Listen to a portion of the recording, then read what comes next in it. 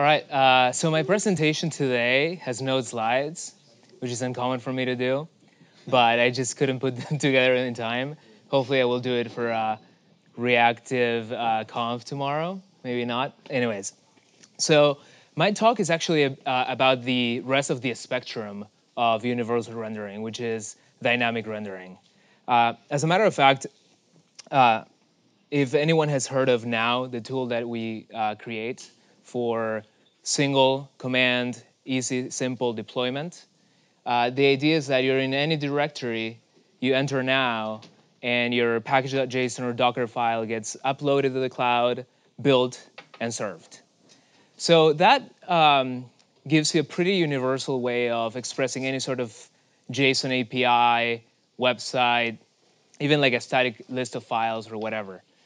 And we launched it initially thinking about JSON APIs. So you configure a um, package.json and you say, I put Express in it, you press now, we give you a link immediately with the feedback about the process.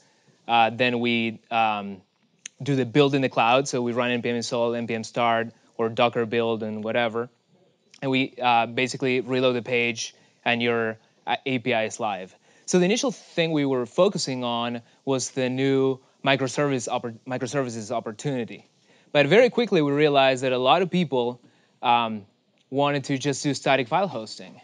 So we thought about it and we thought we have two options for doing this. Is one is we special case static file hosting. So we take a directory and we say, oh, there's no manifest here, so therefore it's, it's static of some sort. And the server would handle that appropriately. Instead, what we decided to do is we added a little bit of intelligence to the client and we said, well, actually, a static file hosting is just adding a package JSON on the fly and using a tool like HTTP server or serve or list to sort of wrap a little HTTP server around that static folder or static list of HTML files and, um, and do static rendering that way. And we call that now serve. And it turns out that now serve, um, and I'll, I'll, I'll get to my main point very quickly. Uh, it's actually one of our most popular ways of deploying applications to, to our cloud. So people use now serve uh, a lot. And we, are very happy with this uh, abstraction because for us, static is really a subset of dynamic. Anytime you need to do something a little bit more um, complex, like let's say you want to write an API server, you want to write a Slack bot or whatever, you have that choice. So by supporting the spectrum of dynamic, we have uh, static as a side effect. Uh, another reason we created now was we were kind of frustrated with how long builds took on the client side, on the developer side. So there are a myriad of reasons for that. One is laptops or iPads or, or phones becoming developer machines are not going to be very powerful moving forward. A lot of people might start actually coding on their tablets or phones in the future. We don't know. So we were looking at a future where it's not necessary to have a very powerful machine, and we defer the build to the cloud. So that was one of the um, main philosophies. And the other one is the internet connection of the cloud is always better than your computers. So by us sending the manifest to the cloud, we can make all these awesome optimizations. Kind of like imagine what Yarn does, but on a global scale. So, and what the other reason that we were interested in solving this problem was um, the machinery that we use nowadays to make universal rendering possible is very, very robust. So I, I was running Yarn today, and yeah, it's faster, but I think the total number of dependencies from a project was saying like 20,000, and there were all these steps, all these individual progress bars. And the reality is that this process has been becoming more and more complex and thicker over time. So uh, going back to the uh, tool that we wanted to power with this, is called Next. So what Next does is it takes this approach of using the file system as a main entry point or main API for your project and it introduces this idea of pages. So you create a pages directory, and all you have to do is have your modules export a function or a React component. And the whole process of server rendering and asset pipeline and bundling gets done automatically for you. So I, will basically do a, almost like a reading of this post because in this post I sort of cover the motivations for this project and sort of the things that it enables. Uh, hot code reloading out of the box is one of the nice things, including for route registration, where if the route is missing, you can register it later on. And we made a, a very significant, I think, contribution to the life cycle of components by introducing what we call get initial props. So you can imagine that every component that next you expose with next is basically a static uh, bundle of JSX. But by introducing this extra lifecycle hook, um, get initial props, you're able to access the lifecycle of the request from the server and expose properties. So the interesting thing about this get initial props, which I'll get later on into, is it's an async function that returns a promise. So any sort of data uh, fetching behavior that you want to uh, use in your applications, you can basically plug into Next. So, uh, like I mentioned earlier, the getting started, uh, it was very important to us that getting started with this was very simple, yet without trading off power and flexibility.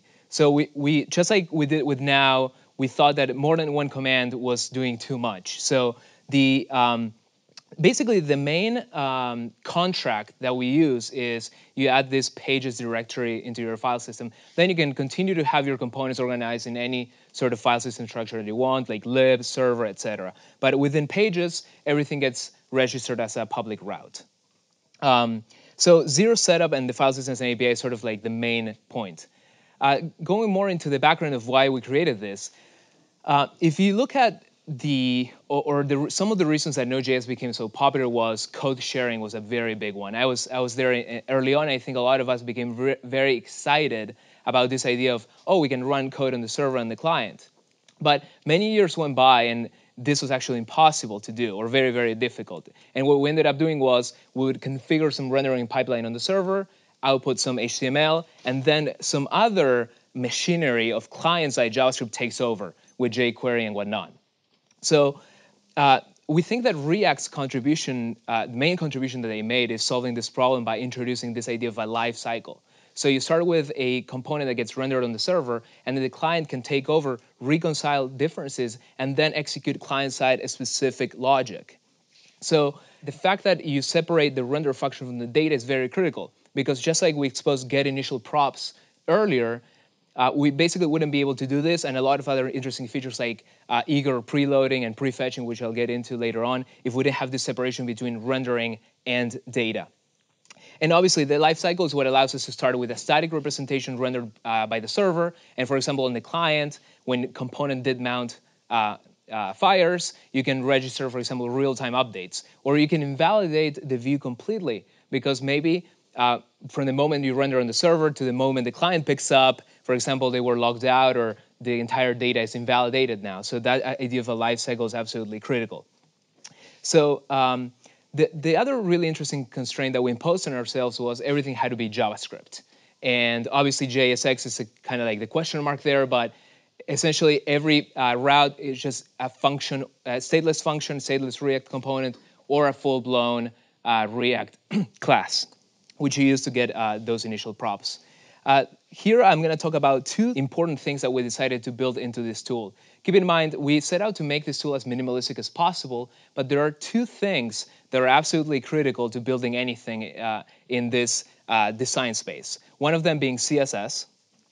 So the, the traditional approach to handling CSS with uh, React is uh, inline styles, which has some performance drawbacks and has some ergonomic drawbacks, specifically when it comes to uh, doing life cycle CSS stuff like hover and stuff like, or media queries and stuff like that. So that uh, that's sort of that's certainly possible within this model. You can not use CSS at all, and you can use inline styles if you want. Uh, but we also felt that because we're setting up a, a server-side rendering pipeline, there are some interesting optimizations that we can do there as far as hydrating and rehydrating CSS on behalf of the user, rendering on the head as the page is rendered, etc. So we decided to include um, our what we think is the cleanest approach to CSS in, in uh, React, which is glamor. Uh, the, the cool thing about glamor is that it exposes the full power of CSS, so media queries, hover, and whatnot. And every single um, definition that you create compiles down to a class name that you can embed in your attributes and class name and so on. So here I just have class name style, and here I define this style. In the beginning, we actually started with the approach of transpiling CSS. So we have a pretty large code base now for our web UI, and we found that our compilation pipeline, when it involves uh, parsing and pre-processing very large amounts of CSS, and then some of our developers wanted support for more advanced CSS features like import, we actually found that uh, constraining the subset of CSS that we consider to be really useful uh, does wonders for performance, but also the cleanliness of the code base.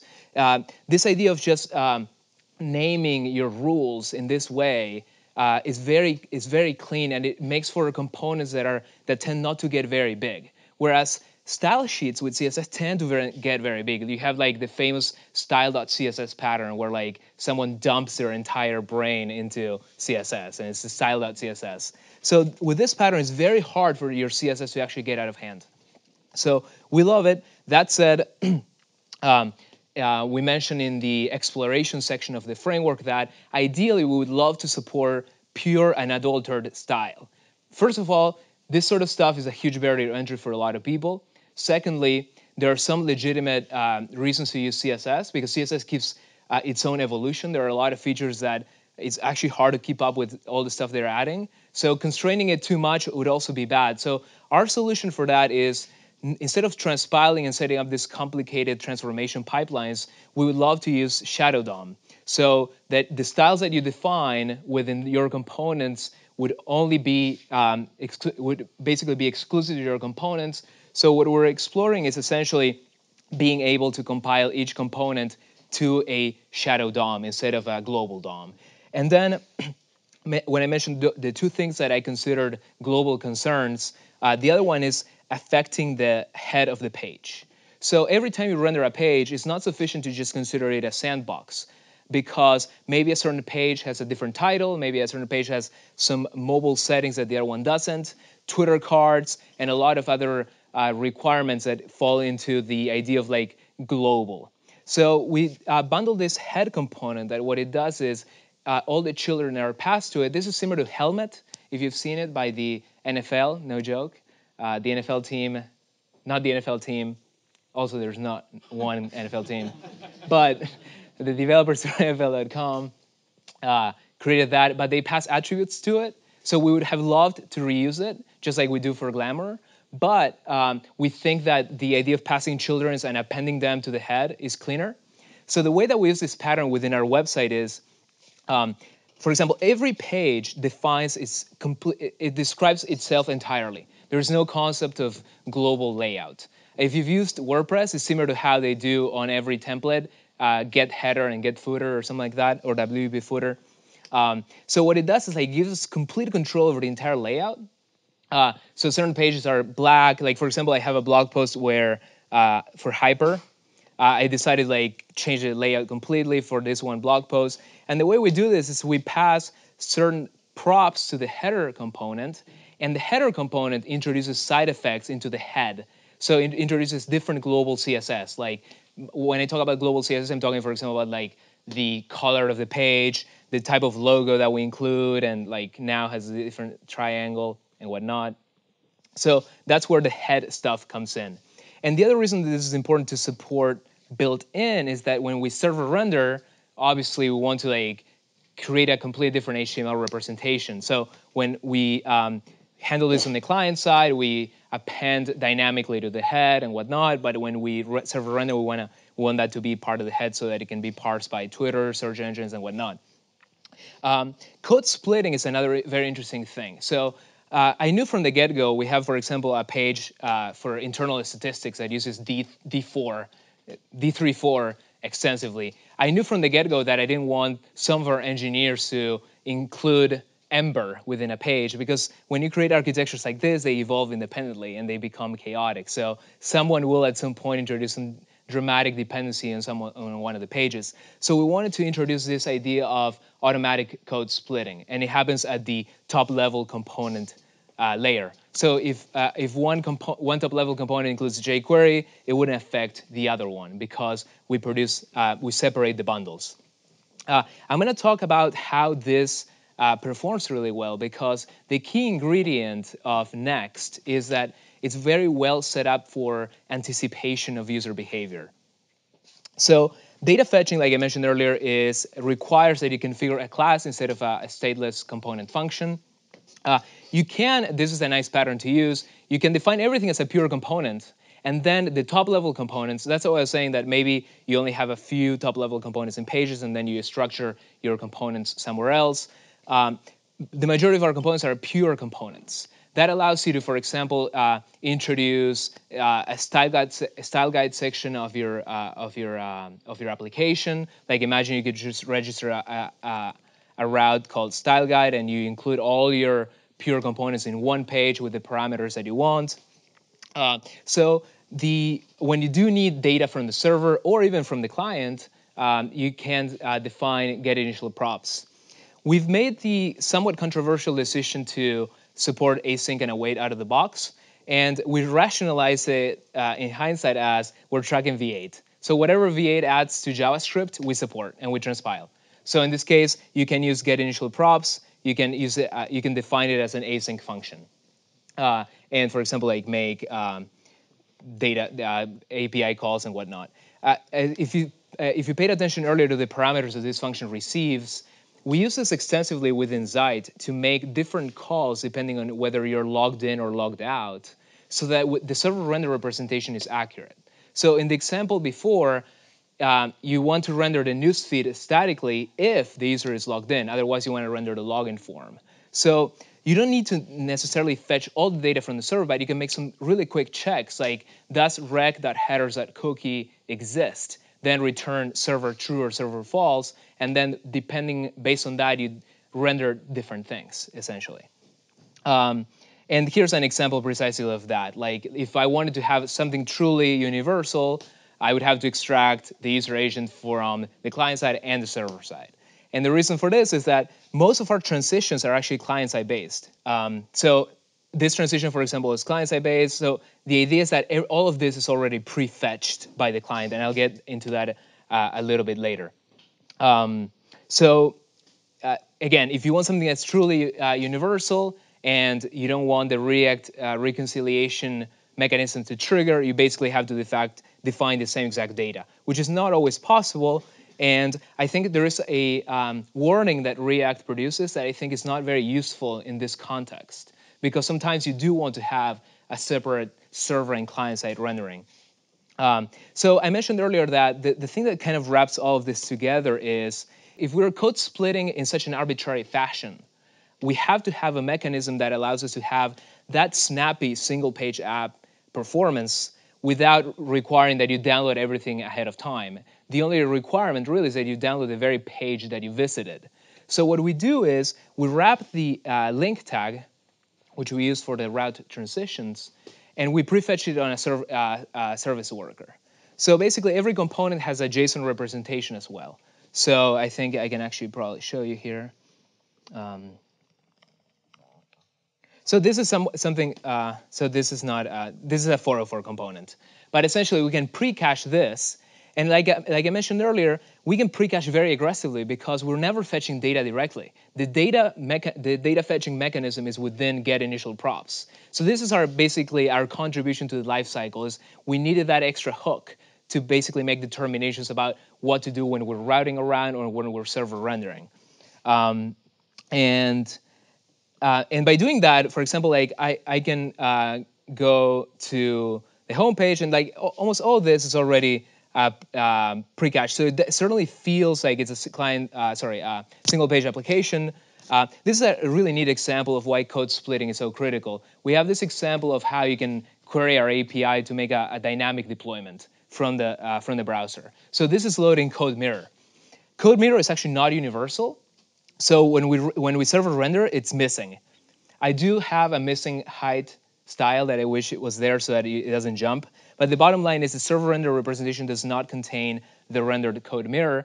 And similarly, when you go to now, we're never fetching CodeMirror because we don't have to. So that's why we made that decision to make code splitting a priority of the framework is because combined with eager prefetching, you don't really need to think that hard about what to load, what not to load. You just load everything. Uh, and because it's in a service work, it usually doesn't have any impact whatsoever in the user's performance. They got their data, service worker kicks in, it's on a, a different thread, it caches a request, it's very transparent. And that's why in our configuration of Next, it used to be bundled for uh, the framework. But now what we're going to do is if you want to use that prefetch link, you basically import link from um, a third-party module or a, a, community module called link prefetch or next link prefetch or something like that. So by doing that, um, you can sort of opt in into this opinionated behavior of uh, uh, prefetching your route transitions. And interestingly, uh, we also thought about you know adding uh, different heuristics or intelligence into this process, but it's been working fantastically even on mobile without adding, with just prefetching everything. So maybe uh, those people that have bandwidth caps hate it, but for us, it's been working really well. So we're very happy about that. Finally, this, the thing that sort of wraps all of this together is that we think that this idea of ahead of time optimization is critical to performance, and that applies also when it comes time when it comes to deploying to production. When it comes down to deploying to production, for example, you can build and pre-process a routing tree so that you don't have to make file system lookups. And there are a lot of optimizations that you can make when you're sort of preparing to deploy. So that's why we, from the get-go, we wanted to um, have this very simple contract that you just run next build, next start, and then that's basically the production ready version. Doesn't do hot code reloading, and it, it certainly makes a lot of optimizations for better performance. And this can take care of a lot of things, like you know, like it takes care of like uh, minifying, gzipping, and, and all of that stuff. Finally, um, there is a future directions link here with a bike for bike shedding. so this is the opportunity for everyone to bike shed in. Uh, so pluggable renders is interesting. Why? Because when we looked at how big is it, so everything is 73 kilobytes uh, gzip. So that's uh, next, uh, the next bundle that enables uh, CSS, head, and all that stuff that I talked about. And our stuff is actually 15%. So the rest is just like framework stuff. So I think this is the opportunity for two things to happen is one is the browser engine has opportunities here to all those 73 kilobytes could be in the browser in some sense. I have played in the past with some proposals for extending uh, web components to have more of a React type feel, but that, th I think those discussions are pretty dead. So the other opportunity is that we can have pluggable renderers um, that are smaller and fitted to certain workloads better. So like um, Preact and Inferno um, in certain code bases are uh, drop-in. So the, the creator of Preact, for example, uh, went ahead and replaced React with Preact for um, our terminal hyper, and he didn't have to change a single line of code. So this idea of pluggable renderers, I think, has a lot of uh, interesting bike shedding potential. So the next one is, uh, like I mentioned earlier, we would love to support full CSS. And we can do that by you export a function that returns a style tag, and because um, you are shadow DOMed, you don't have to worry about isolation. Uh, better JSX is critical because right now there is an obscure bug that you probably ha you have run into in the past, which is you start writing your JSX and then you get uh, error that says React.createElement is undefined. And you're like, where did I write React create element? No, nowhere. So you sort of have to train yourself to always include import React from React because you know that the JSX is going to get compiled to React.createElement. So this is um, bad for two reasons. It's obviously, in the spirit of simplicity, it would be really cool if this is all you had to write to render some stuff on the client and the server universally, like just export a function. Uh, secondly, if we want to honor pluggable renderers, we have to have a very flexible approach. So I have two suggestions here. Um, and then Ryan Tolmasky uh, weighed in saying that there's a very interesting opportunity to generalize JSX to sort of just be syntax for function calls in JavaScript, or even uh, some proposals for like just a tree object definition. So with those sort of things, uh, we would have an opportunity uh, for sort of um, having JSX be a part of the language for real. Um, or the other uh, solution, which is kind of a non-solution, is that we wrap it and then we pass it to the respective uh, renderer, which is not too bad either. So um, custom server logic so in uh, in Zeit we have a lot of situations where, for example, a route um, is no longer useful and we have to redirect it somewhere else, or um, we have some fancy routing requirements. So what we came up with is a way to short circuit the requests. So what uh, this is uh, also uh, up for discussion because we haven't decided fully on the API, but the idea is that you get the path of the request, uh, and then you get the request and response objects, and then you can match. You can say, here's where you do you would do fancy routing and route parsing and all that stuff, basically. Uh, and then you would say it returns a promise that resolves to the component wherever it is in the file system. So this is uh, pretty important. Uh, and then finally, we don't have a notion of ejecting like Create, Re, uh, Create React app has. What we are instead considering is that you can define a Babel namespace in your package JSON, or similarly to how you pass a function for the server request handler, you can pass functions to sort of decorate the Webpack and Babel configuration. But also, here's what's interesting here is that uh, there's an opportunity also for stopping to going so crazy about uh, customizing every single type of syntax and sort of like with that idea of always tracking V8, we have a very significant performance boost because when you're developing, you never have to transpile. And that's really, really awesome. And similarly, um, when you're server rendering, you, you're always targeting sort of, for example, if you use Node 6, you never have to transpile for Node either. So there are some uh, significant benefits to sort of not um, always promoting, like ex extending the Babel configuration. Um, so th that's sort of it. There are a lot of questions that I sort of um, um, imagined that people would have, and I covered all, all of them uh, here. Um, there's uh, a very interesting project called Nextgram. So what Nextgram does is like it's sort of like uh, plays with this degenerate case of routing, where uh, I think I have a demo here. So there's there's a routing scenario where you uh, boot up uh, a route that says photo ID3 in this case, um, but then when you server render it, it looks completely different. Um, and we wanted to make sure that like our routing was flexible enough to handle this, and of course uh, it is. And like then there are a lot of scenarios for like what happens if you go, for example, there and you come back, it needs to match. So what we do is basically we um, give you a URL prop to every top level component. And when you need to make route transitions that only impact the context of that component, you do, for example, url.push there instead of making a global push. So then Next is able to track what component owns each URL. And this is sort of how we enable like very versatile uh, routing scenarios. Uh, in fact, when I was testing this degenerate case, I found a bug on Instagram.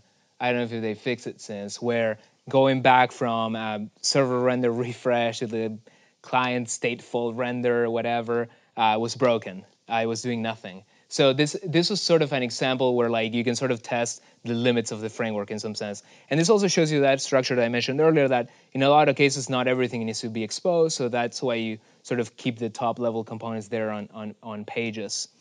Um, yeah, and also a very interesting uh, uh, fact. So um, the grid of React uh, had a very similar thing to this a long time ago called React Page.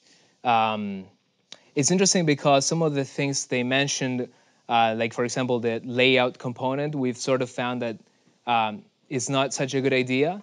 But this is also a very interesting read about uh, sort of like where the project started because I think a lot of this is also trying to make the, this React world approachable as well uh, to people that are uh, just getting started. So that's that's basically uh, part of our intent as well, uh, to sort of remove all the um, overhead and boilerplate, and also experiment with what are the browser engine capabilities that a world like this would require to be extremely efficient, so that we don't need to transpile, so that we don't need to execute like very complex uh, transformations. For example, like I was mentioning earlier, a lot of people have this very complex CSS transformation pipelines on, on, the, on the server on the on their developer side, and frankly, it's it's a lot of work just to get you know some styles going. Um, so that's it for today, and thank you.